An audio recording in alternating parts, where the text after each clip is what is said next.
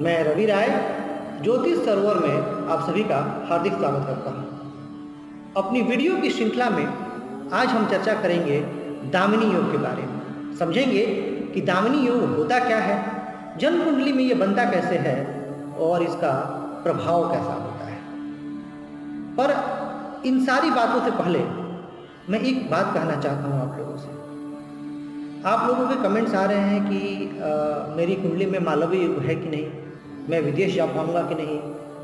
गुरु चंडाल युग का क्या प्रभाव होता है? तो देखिए कुछ वीडियोस में पूर्व के कुछ वीडियोस में मैंने इसका उत्तर दिया है। अगले सप्ताह जो वीडियोस आएँगे उसमें भी आपको इसका जवाब मिलता रहेगा इसी तरह आप चैनल से जुड़े रहें आपको सभी प्रश्नों का जवाब मिलता रहेगा। दूसरी बात चैनल को ज़्यादा से ज़्यादा शेयर करके और सब्सक्राइब करके हमें अपना प्यार ज़रूर दें। क्योंकि मेरी यह दिली इच्छा, मैं ये चाहता हूँ कि जो ये ज्योतिष का ज्ञान है, वह फैले। इसका प्रचार प्रसार हो और लोग इससे लाभान्वित हो सकें। आइए, चर्चा को शुरू करते हैं। देखिए, दामिनी योग एक बड़ा अच्छा योग है। और जन्म कुंडली में बनने के लिए कुछ इसके शर्त होते हैं, तभी यह निर्मित होता है। और वह शर्त यह है कि जन्म कुंडली में जो सात ग्रह हैं, वो किन्हीं भी छह स्थानों पर होने चाहिए। छह भावों में स्थित होने चाहिए। अब आपके मन में सवाल ये आ रहा होगा कि ग्रह तो नौ होते हैं और गुरु जी सात कह रहे हैं। बिल्कुल सही सोच रहे हैं आप, ग्रह नौ ही होते हैं।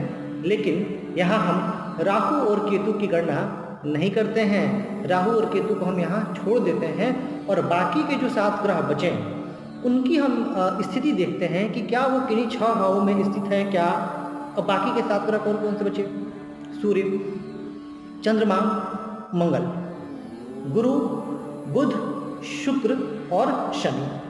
अब ये जो सात ग्रह हैं, यह किन्हीं भी छह स्थानों में हो? तो ये दामिनी योग बनता है।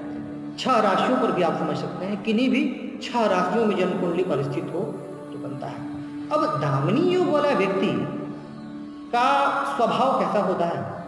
और ये फल क्या देता है? तो देखिए दामिनी योग वाले व्यक्तियों की जो बुद्धि होती है, बहुत तीक्ष्ण होती है। तेज दिमाग के होते हैं, स्वभाव से हसमुख होते हैं।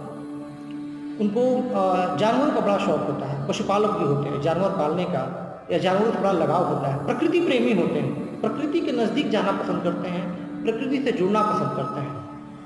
सभा में चतुर होते हैं। अब ये शब्द मैंने कहा, सभा में चतुर होने का मतलब हाजिर जवाब होते हैं, अच्छे वक्ता होते हैं वाणी अच्छी होती है और बुद्धि तीक्ष्ण होती है, बुद्धि तेज होती है। सभा में बैठे हैं कहीं और किसी ने कोई प्रश्न पूछ दिया तो वो उसका उत्तर जो है, वो तुरंत दे देते हैं। काल्पनिक होते हैं। कल्पना में रहना पसंद होता है इनको, पर साथ ही यथार्थ और कल्पना के बीच के सामंजस्य को भी समझते हैं।